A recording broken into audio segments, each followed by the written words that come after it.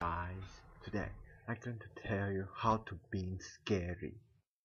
So first of all oh, first you need to do like jump scare to scare your fans or something. Or your friends and or family lots of them even your enemy. Maybe you can't scare them but maybe they will think it's creepy. Okay watch this.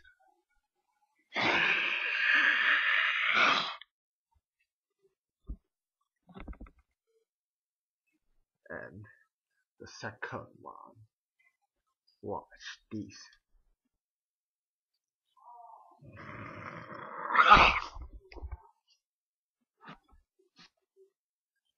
That's all for today. So thanks for watching folks. Subscribe and see you later